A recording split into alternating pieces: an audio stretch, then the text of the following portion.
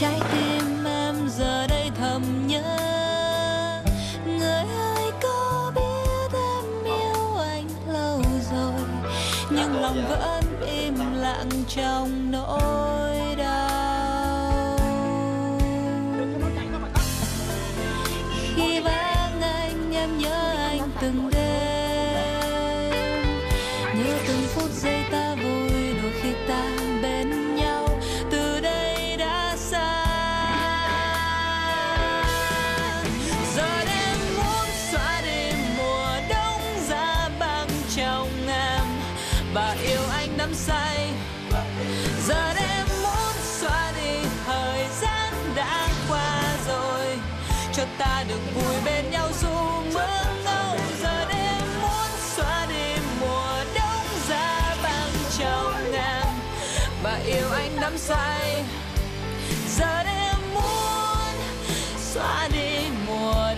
trong em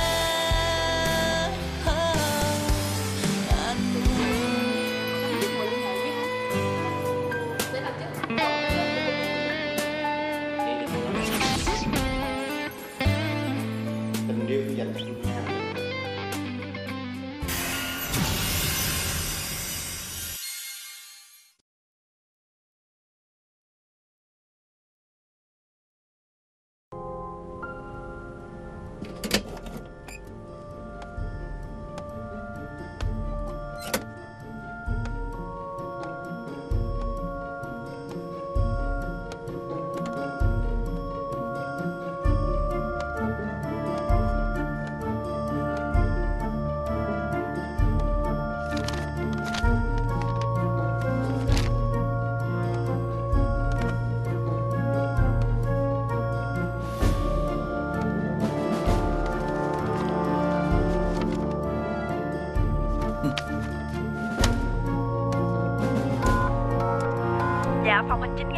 Kêu nhân viên tập vụ qua đây gặp tôi. Nhanh lên. Dạ.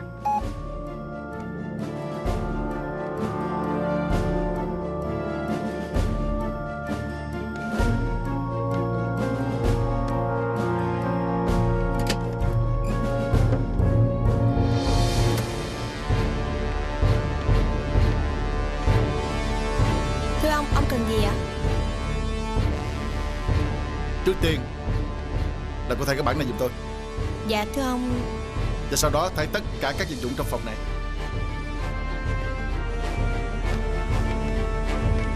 Bộ ghế salon này. Thậm chí là cái bàn này nữa. Thưa ông nhưng mà Không nhân gì gì hết. Gọi người qua đây làm liền đi. Dạ. Dạ chào chị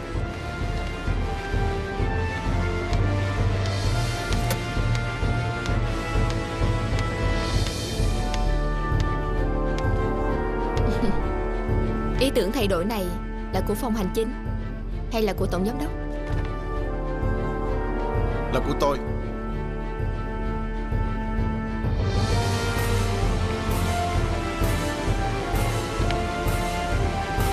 Nhưng mà đây là những dự án quy hoạch mới của công ty mà.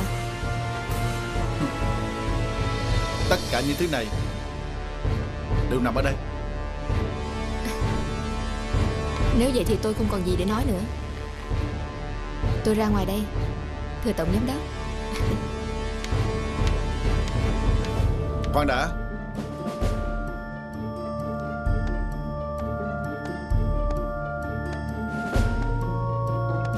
Từ đây về sau Cứ gọi tôi là Trọng Khang là được rồi. Có lẽ trước đây Và bây giờ đã khác nhau rồi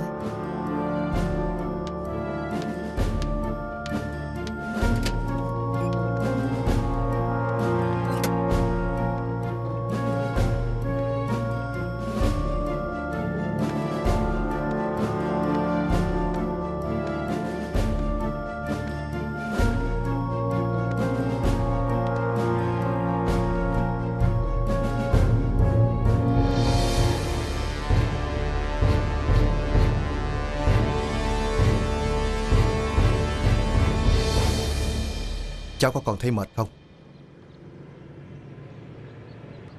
Cháu cũng hơi thấy mệt mệt.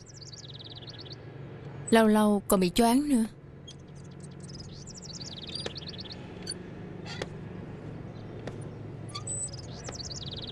Vậy thì cháu phải đi khám bác sĩ đi. Chú lo cho sức khỏe của cháu quá. Cháu bị tim bẩm sinh mà.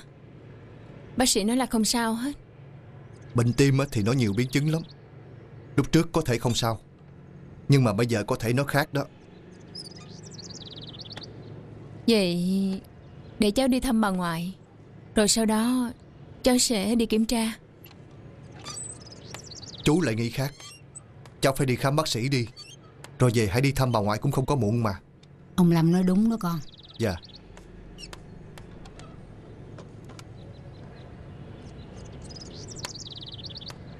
Còn á không có ăn được cơm Thì cũng phải ăn miếng súp và uống sữa chứ. Cứ nhịn hoài như vậy chịu sao nổi con? Ông Dạ. nếu mà nói không nghe đó Ông làm ơn ông đưa đi bác sĩ cho bác sĩ chích cho. Dạ được mà chú Vú Con lớn rồi. Con tự lo cho bản thân mình được mà. Vú cứ la con hoài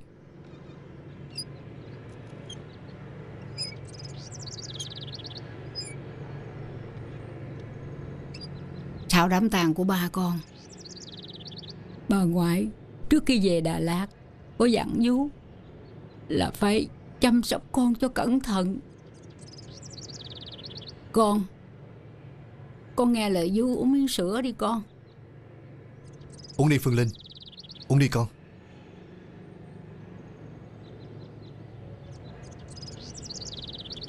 Uống đi, uống đi con Mọi người ở ngoài này hết rồi hả?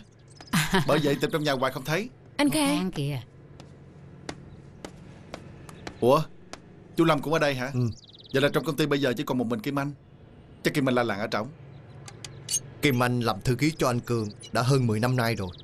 Mọi việc ở trong công ty cô ấy đều nắm rõ. Không có chúng ta Cô ấy cũng làm được mà.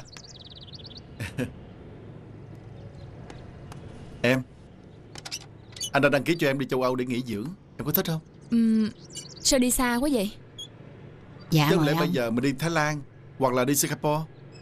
Những nơi đó em đi mòn gót chân hết rồi còn gì. Cậu Khang mời cậu. Dạ cảm ơn chú Nhưng sức khỏe của Phương Linh đang yếu. Đi xa như vậy liệu có tiện hay không? Tại cho mới nói chuyện với đối tác ở bên đó. Sẵn đi một công đôi chuyện luôn Thứ nhất là đi công chuyện. Thứ hai là đưa Linh đi nghỉ dưỡng. Vậy thì được. Vậy bao giờ mình đi anh? Nếu em thích Đầu tuần tới mình đi. Vậy đợi em đi thăm ngoại Rồi sau đó tụi mình đi ha. Cũng được. Khi nào về Nhớ điện thoại cho anh biết Lên bút vé nữa. Ừ. Uống sữa đi.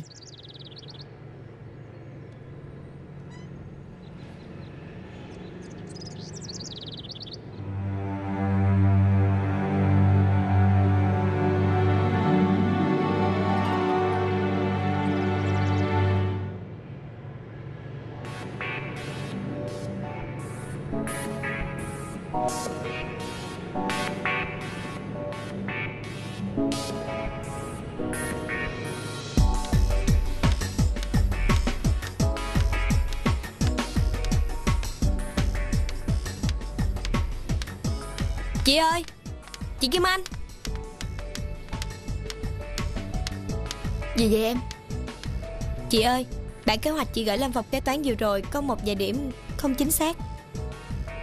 Sai hả? Dạ. Để chị coi.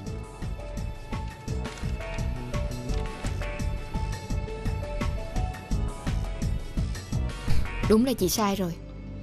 Cảm ơn em nha. Để chị về sửa lại Rồi sẽ gửi lại cho mọi người. Dạ. Dạ chào chị.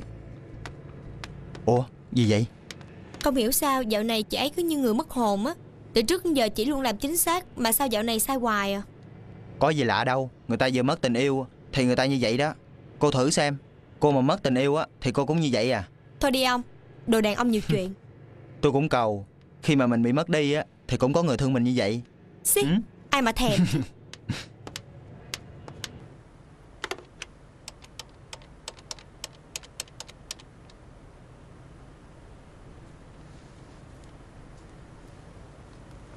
Chừng nào thì vật liệu xây dựng mới chở xuống công trường vậy? Dạ thưa tổng giám đốc, hiện nay các container đang nhập cảng, chưa vào được. Khi nào vào được báo cho tôi biết Tôi xuống kiểm tra Dạ.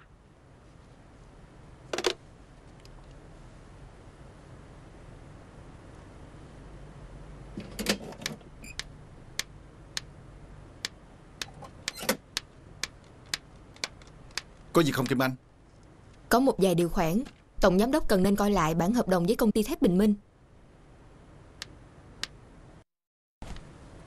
Hiện nay giá thép đã bình ổn Nhưng trong hợp đồng Vẫn còn Chia ra một khoản để trợ giá là không hợp lý. Được rồi tôi sẽ kiểm tra. Cảm ơn. Kim Anh.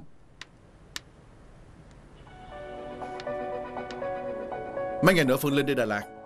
Khi nào cô ấy về Cô nhớ bút giấy giùm tôi và cô ấy đi châu Âu nha ừ. Cảm ơn cô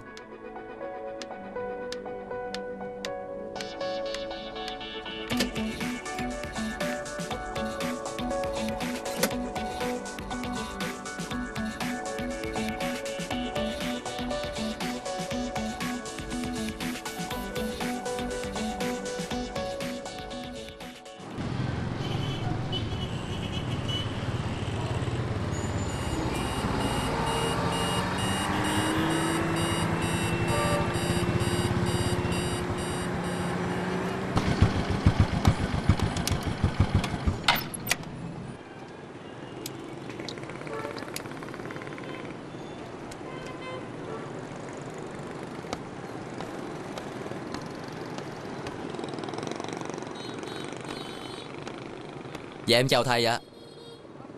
À, Tường về rồi hả? Dạ em mới về. Vậy mà thầy cứ tưởng là em ở văn phòng luật sư. Không cần đến thầy nữa chứ. Em ngồi đi.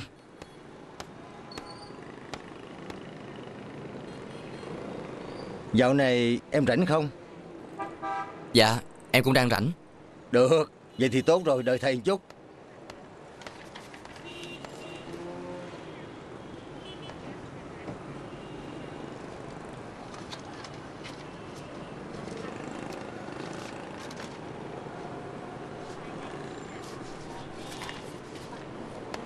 Đây. Em nghiên cứu bộ hồ sơ này. Đây là một vụ kiện tụng trong gia đình. Ông bố chết đi không để lại di chúc gì hết.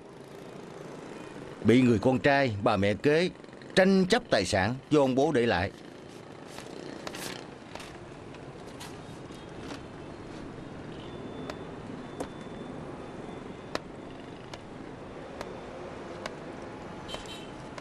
Vấn đề ở đây á, không phải là do ai đúng ai sai, mà chúng ta phải làm cho cả hai bên thấu tình cạn lý. Tình cảm gia đình là cái đáng quý nhất, chứ không phải là tài sản.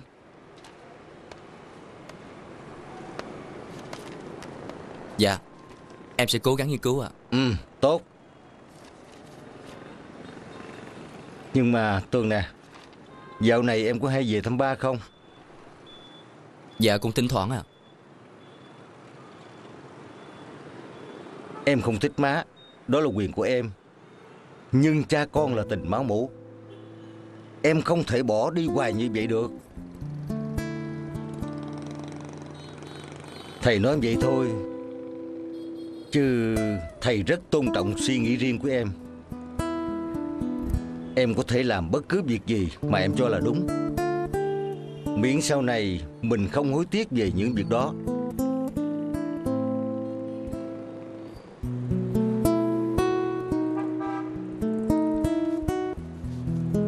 Dạ em cảm ơn thầy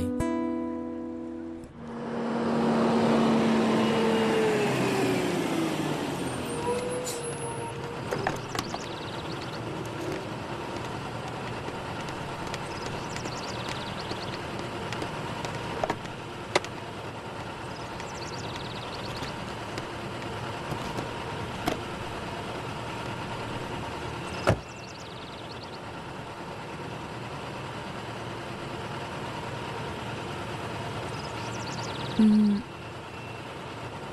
Anh nhìn em gì mà lạ vậy?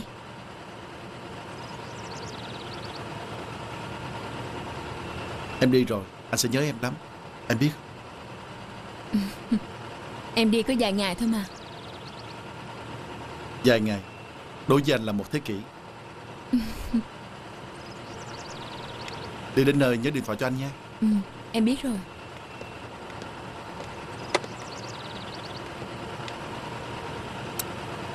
Chúc em đi bình an.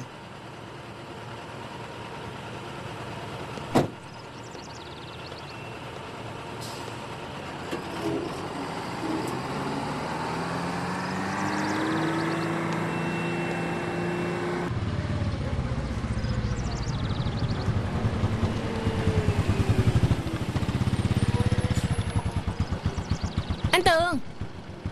Ủa? Anh đi đâu vậy tôi tới thăm cô nè. Không biết khỏe chưa? Ờ dạ tôi cũng khỏe rồi. Bữa nay tôi đi lên Đà Lạt thăm bà ngoại. Vậy khi nào cô mới về? Chắc là khoảng vài ngày nữa. Sau đó tôi đi du lịch châu Âu Khoảng vài tháng.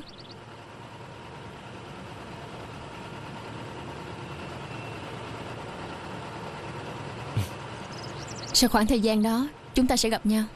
Chào anh nha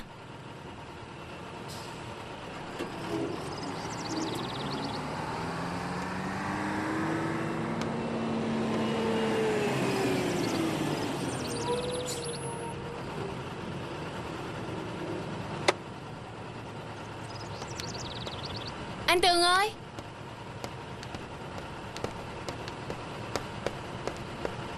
Ờ, đây là địa chỉ nhà ngoại tôi ở Đà Lạt. Anh có lên thì ghé chơi.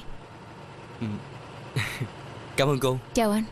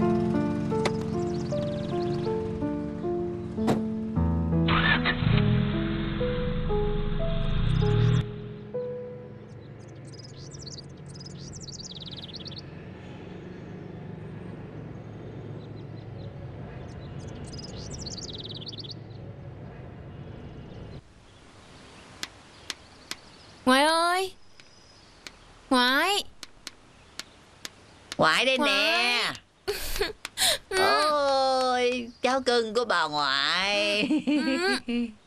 Ôi Có nhớ ngoại không con? Con nhớ ngoại quá. Ngoại cũng nhớ con quá à. Sao con? Hết buồn chưa?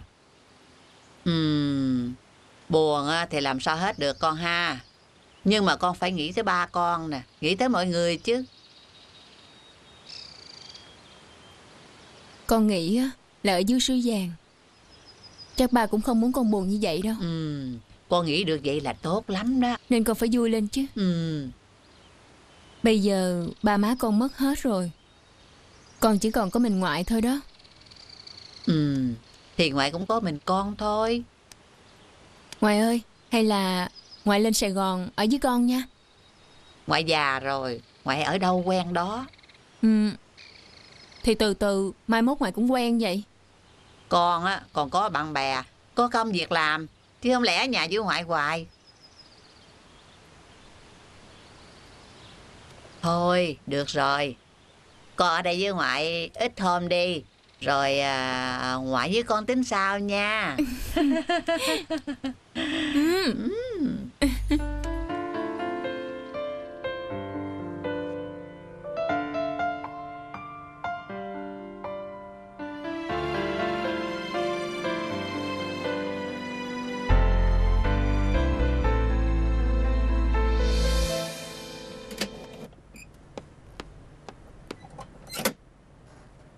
Cậu Khang Xin lỗi nha. Tôi quên gõ cửa. Không sao đâu chú Mời chú ngồi. Có chuyện gì không chú? Cũng có việc đây. Có một thợ hồ Bị tai nạn khi dàn giáo bị gãy. Anh ta có sao không? Bị gãy tay Và xây sát nhẹ. Nhưng tôi có cho người đưa đến bệnh viện Và lo tiền thuốc men rồi. Vậy cũng tốt rồi. Anh ta Cảm có ơn. bảo hiểm không chú? Không Các chủ thầu xây dựng có bao giờ mua bảo hiểm cho nhân công của họ đâu cậu? Lẽ ra chúng ta nên bắt buộc nhà thầu mua bảo hiểm cho công nhân. Nhưng chuyện đã lỡ rồi. Chúng nên trích quỹ của công ty Để lo cho nạn nhân đi. Nhưng qua cái chuyện người thợ hồ này nè Tôi mới phát hiện ra Là nhà thầu sử dụng sắt thép không đúng với quy cách. Ta sao vậy? Mình mới vừa hỗ trợ vốn giá thép cho họ Thì họ làm ăn gian dối rồi à Bây giờ cậu tính sao?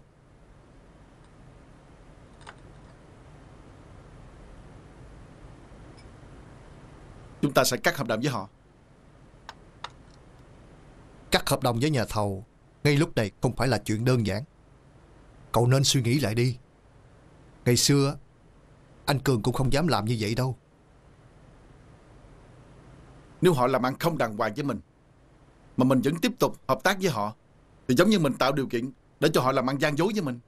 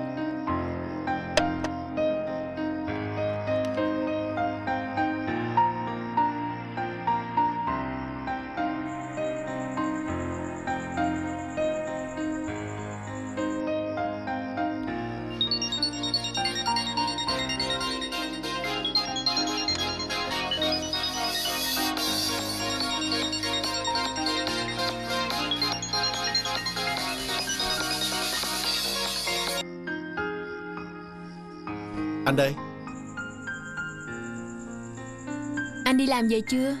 Anh mới về. Vậy anh có mệt lắm không? Mệt. Nhưng nghe được tiếng nói của em Là anh khỏe lại liền. Nè em hỏi thiệt mà. Dạ nói thiệt chứ bộ. Anh không nghĩ là công việc phức tạp đến như vậy.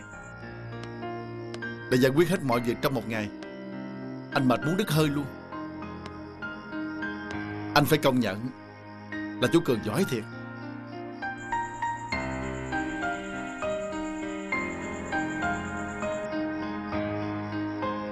Anh xin lỗi. Anh đã làm em buồn đúng không? Không đâu. Em rất nhớ ba. Nhưng em biết Ba sẽ rất vui Khi biết rằng có một người làm việc giỏi như anh. Còn em ở trên đó có vui không? Ừ cũng vui. Vì em được ở với bà. Nhưng mà cũng buồn Vì nhớ anh. Anh cũng rất là nhớ em Ờm, Vậy thì anh lên đây với em đi. Tại vì công việc ở đây còn bề bộn quá. Khi nào sắp xếp công việc xong Anh sẽ lên với em nha Ừ Anh hứa đó nha. Anh hứa. Nhớ nha. Ừ, Anh hứa mà. Ừ Vậy anh ngủ ngon nha. Chúc em ngủ ngon.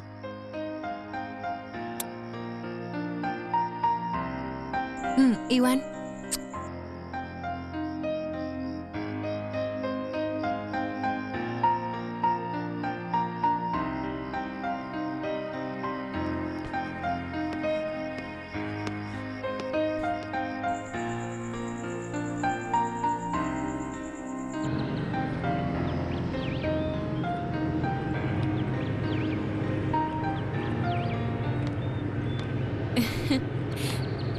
Ngoại ơi Con nghĩ mình đâu cần phải đi đâu cho xa đâu. Đất nước mình còn có nhiều thắng cảnh đẹp lắm Mà mình còn chưa đi hết nữa đó. Nhưng mà con còn trẻ Con phải đi xa cho biết. Chứ già như ngoại rồi á Đi đâu có nổi đâu. À Hay là ngoại về biệt thự Hoa Hồng sống với con đi. Chứ ở đó có một mình con Con buồn lắm. Ngoại ở đâu quen đó rồi Chứ ở thành phố ồn ào quá Ngoại không có thích. Vậy là bà ngoại không có thương con Ngoại thương con chứ. Nhưng mà ngoại lên Sài Gòn rồi Con phải lấy chồng. Ngoại ở với ai? Vậy thì con con sẽ không lấy chồng. Con ở vậy với bà ngoại ha. Nha Nè Con ở với ngoại tới già luôn hả? Ừ. Con bỏ trọng khang cho ai?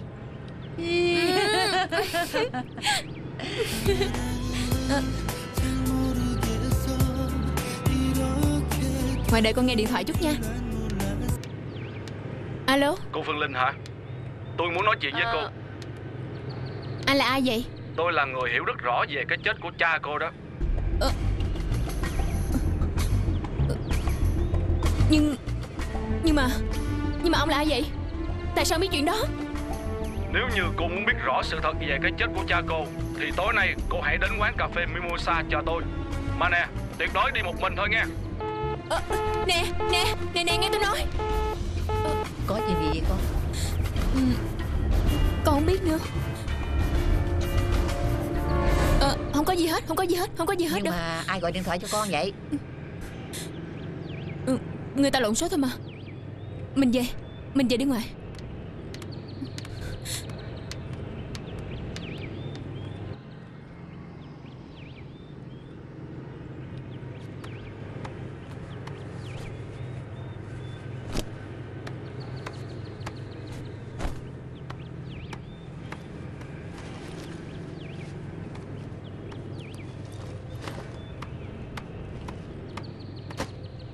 Ủa Ông đi đâu vậy? Đà Lạt. Tự nhiên có ngẫu hứng. Ông đi lên thành phố mộng mơ vậy? Đi công chuyện chứ không phải nghỉ mát đâu. Thôi xảo quá à. ừ? Nhưng đơn đặt hàng nhiều lắm nè. Ông phải ở nhà để đi giao chứ. Ủa, anh Tường Anh đi đâu vậy Ừ?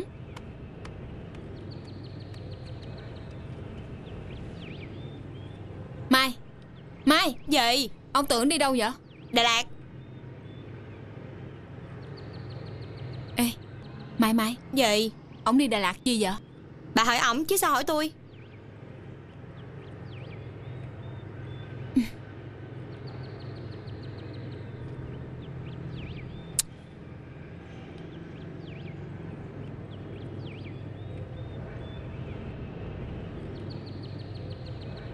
Ê Mà bà đi xin việc làm thấy thì sao rồi?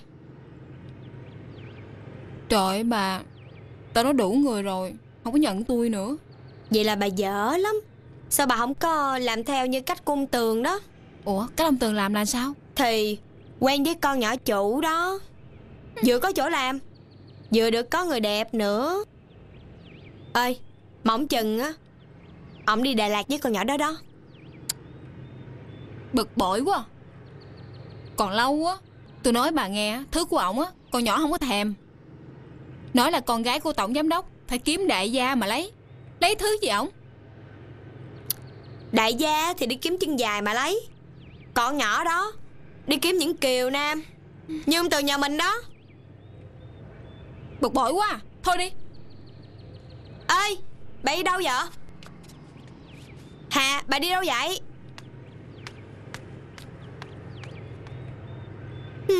Không hiểu mấy người này nữa Mệt quá à.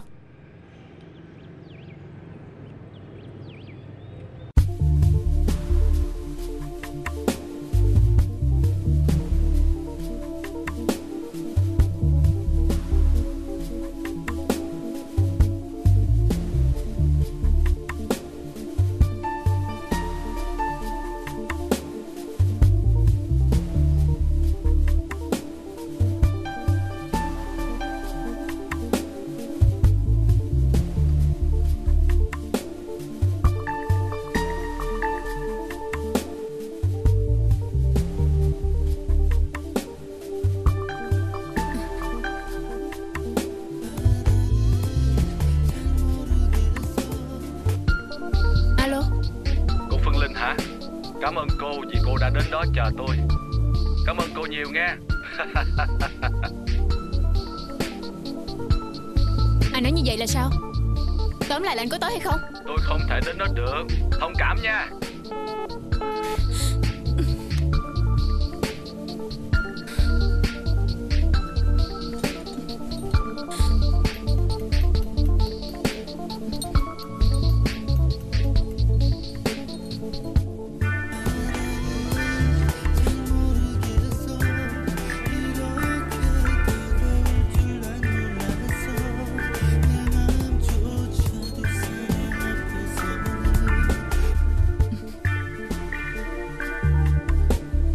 anh muốn gì? Tôi đang ở chỗ cha của cô đã bị hại. Là ở đâu? Ở chân đèo Tà Cú. Vậy bây giờ anh muốn gì? Tôi muốn cô đến đó Để chỉ cho cô thấy Cha của cô đã chết như thế nào. Ờ, Nhưng mà ờ, Alo? Ờ, à.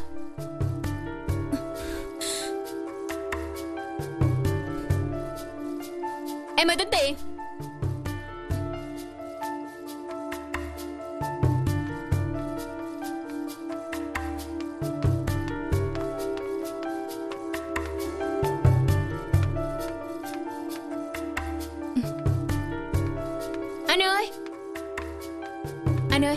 biết đèo tà cú ở đâu không? Biết chứ. Anh chở tôi tới đó đi. Nhưng bây giờ Lên đó tối lắm. Anh cứ chở tôi đi đi.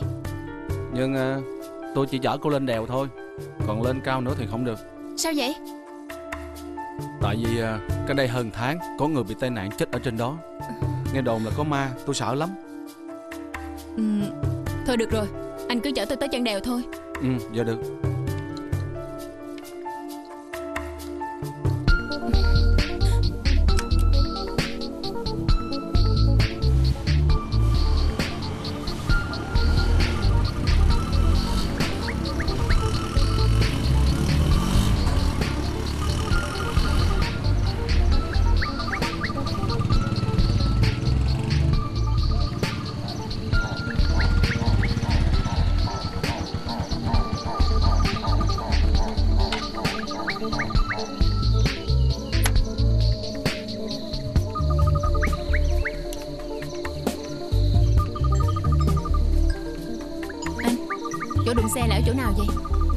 Ờ đi chừng vài trăm mét nữa là tới à. Được rồi. Ờ cô. Cô đừng có lên trển. Sao vậy? Trời tôi nói rồi. Ở trên đó có ma đó. Ừ, Nhưng nhất định tôi phải lên. À anh ở đây chờ tôi nha. Cô đi có lâu không? Ừ, Chỉ nửa tiếng thôi. Nửa tiếng thì được. Nhưng cô trả tôi thêm 50 ngàn nha. Ok. Trời ơi con gái gì đâu mà gan quá trời quá đất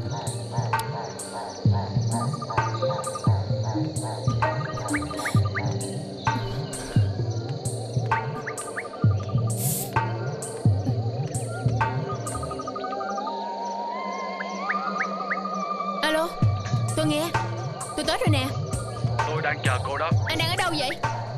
Cách cô 50 mét. Cô cứ đi thẳng đi Là đến chỗ cha của cô bị hại đó. Cô đi đi.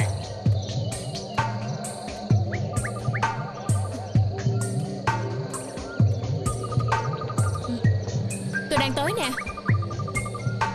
Anh đứng ở đâu vậy? Ờ.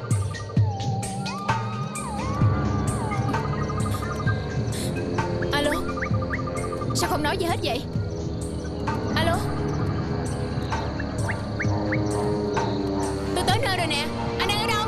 ở sau lưng cô đây nè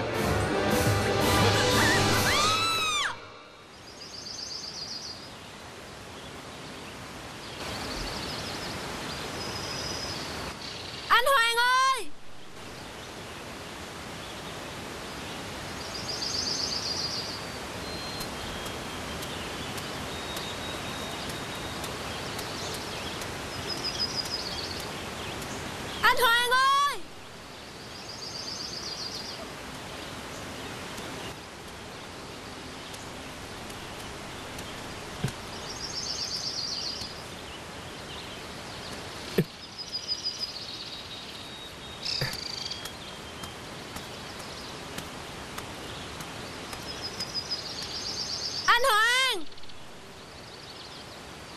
Anh Hoàng ơi Anh Hoàng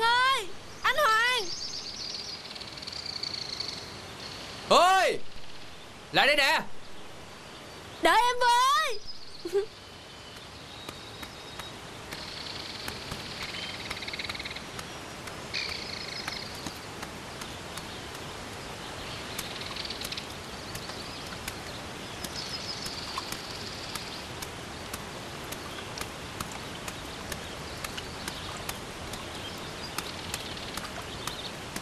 anh Hoàng Có chuyện gì vậy Hơ Lan? Anh đi nhanh quá Làm hơi Lan chạy theo muốn đứt hơi. Sao hôm nay anh phải đi hái thuốc sớm vậy? Vì có những cây thuốc phải hái vào sáng sớm. Nếu hái trễ á là nó sẽ mất hết tính năng. Ủa tính năng là gì hai? Tính năng á, là công dụng. Mất hết tính năng á, là không còn công dụng để chữa bệnh được nữa. Hơi Lan hiểu rồi Em hỏi cây cơ nia Gió mây thổi về đâu? Em hỏi cây cơ nia Gió mây thổi về đâu? Sao hôm nay Hơ Lan vui quá vậy? Ngày nào Hơi Lan cũng vui hết á. Hơi Lan vui Vì được đi bên Hoàng đi hái thuốc. Còn Y Siêu thì sao? Ừm, Hơi Lan không thích anh nhắc đến nó đâu. Nó không chịu học hành cái đầu mê muội lắm.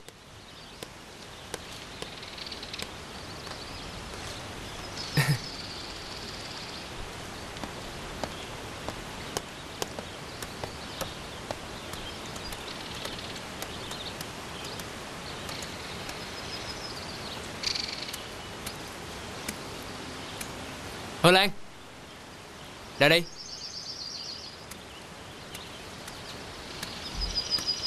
Hơ Lan biết cây này là cây gì không?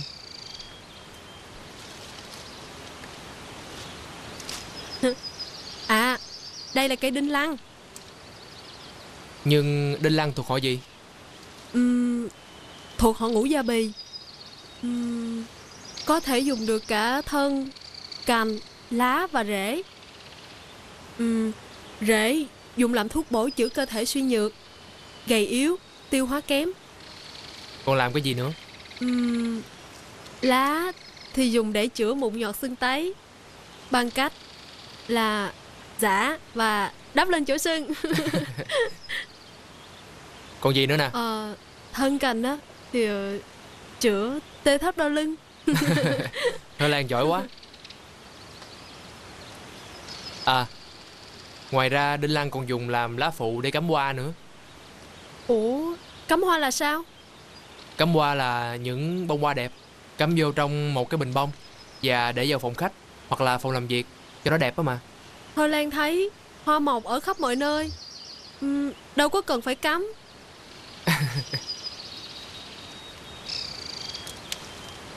Thôi Đủ rồi.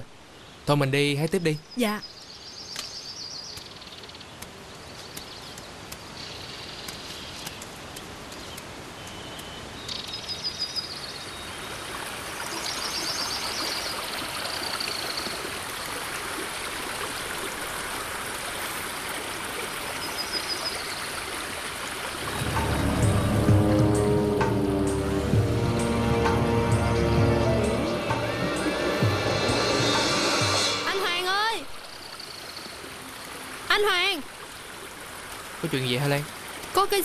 lạ lắm nè. À Đây là cái điện thoại di động. Không phải đâu. Thôi lan thấy điện thoại di động á không có đẹp. Không có đẹp như vậy. Ừm, nó to và nó đen thui à. À Đây là điện thoại di động đời mới. Nó đẹp và nó gọn như vậy đó. Nhưng điện thoại di động đẹp như vậy Tại sao người ta lại bỏ ở đây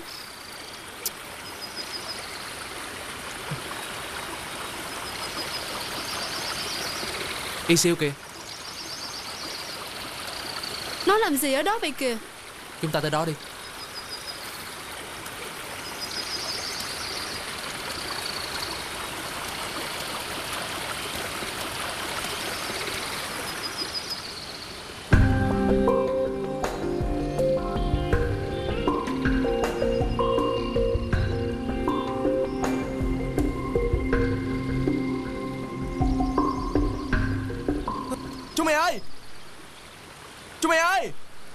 nạn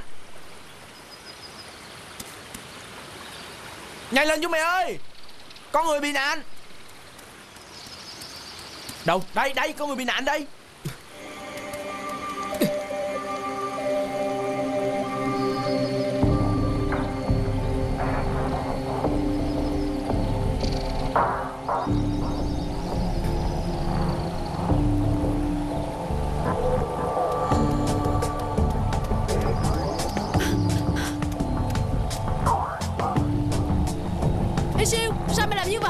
Tao có làm gì đâu. Sao mày giết người ta? Tao không giết Tao đến là thấy như vậy rồi. Mọi người đừng cãi nhau nữa. Cho cô ta rơi từ ở trên đó xuống. Ở Lan Đưa nguyên miếng quế trắng cho anh. Dạ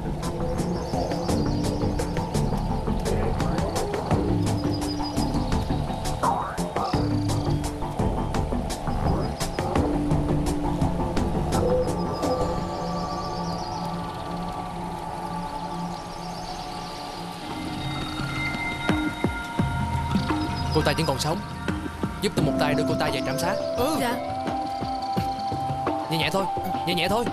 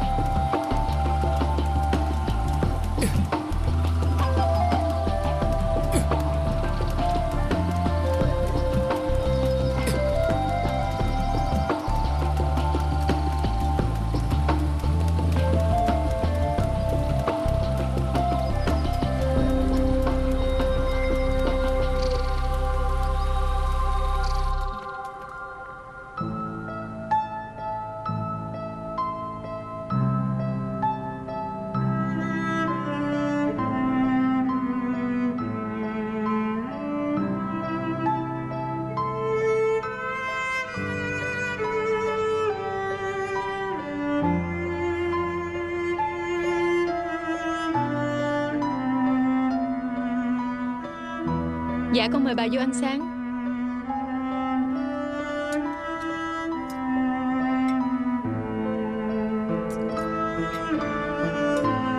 Bà nuốt gì nổi mà nuốt con. Con Linh nó đi từ tối qua tới giờ nó vẫn chưa về. Chắc là cô Linh đến nhà bạn ăn rồi ngủ lại ở đẳng luôn đó bà. Ở đây làm gì nó có người quen. Hay là cô Linh đi luôn về Sài Gòn rồi bà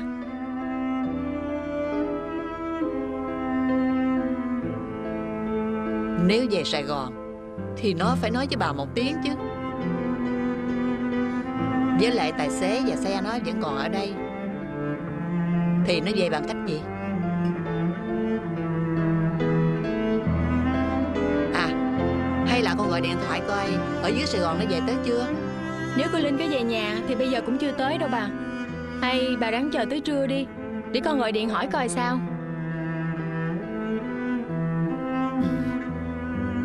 Vậy cũng được.